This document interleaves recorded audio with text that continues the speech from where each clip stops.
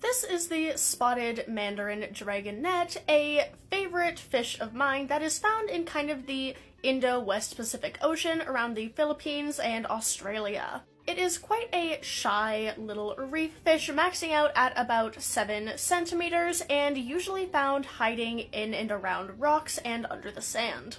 They are one of the very few vertebrate species that actually have blue pigment in their cells, as opposed to just having blue light refracted off of a specific crystal formation to get the blue coloring. They actually have cells that are colored blue themselves which is quite rare in animals in general, even more so in vertebrate species. They mainly subsist on very small marine invertebrates such as amphipods and copepods, and while they are seen occasionally in the aquarium trade, they are quite difficult fish to keep. They need to live in a very specific environment with a specific landscape and temperature, and they only eat live food. They don't eat any frozen or otherwise preserved foods. They're not aggressive, however, many other types of marine and saltwater fish are, so they don't do super great in tanks with other more aggressive fish.